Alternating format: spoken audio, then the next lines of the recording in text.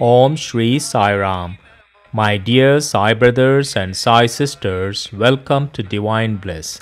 Sai Baba's blessings to everyone listening to this message and everyone in our Divine Bliss family who are celebrating their birthdays and wedding anniversaries today.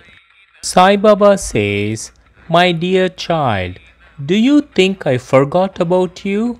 I have not forgotten you, my child. How can I forget you? You are always in my mind. I look at you with great admiration. I see you are doing your best.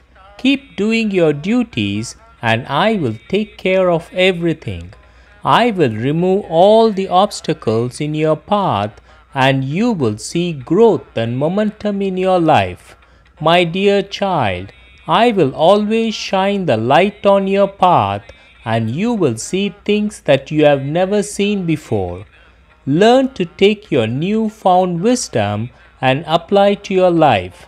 Never change your originality for the sake of others because no one can play your role better than you.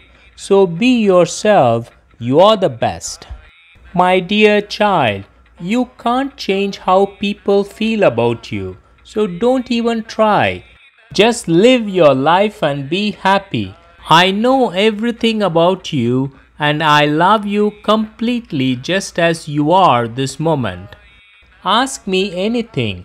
Tell me everything that is in your heart. Do not fear that I will reject you.